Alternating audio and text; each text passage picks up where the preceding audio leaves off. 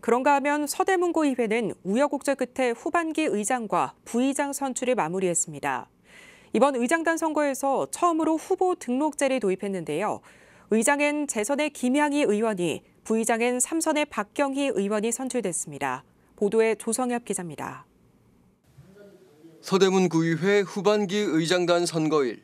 서대문 구의회 측은 그간 교황식 선출 방식을 유지했지만 이번 선거에선 처음으로 후보 등록제를 도입했습니다. 이에 따라 같은 당 김양희 의원과 윤유현 의원이 의장 자리를 두고 맞섰습니다.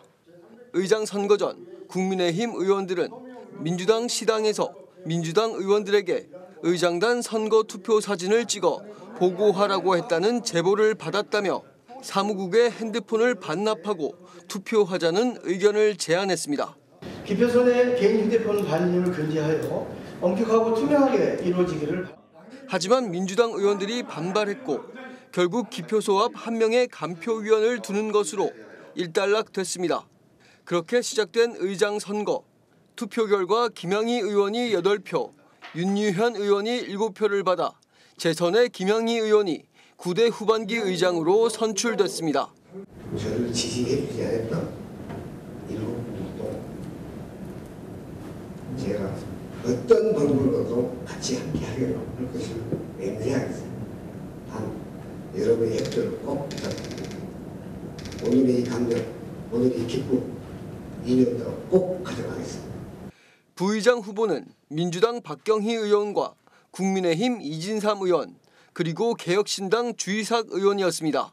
1차 투표 결과 과반수 득표자가 나오지 않아 2차 투표로 이어졌고 2차 투표에선 박경희 의원과 이진삼 의원이 각각 7표가 나와 최다 득표자인 2명의 의원을 대상으로 3차 투표가 진행됐습니다.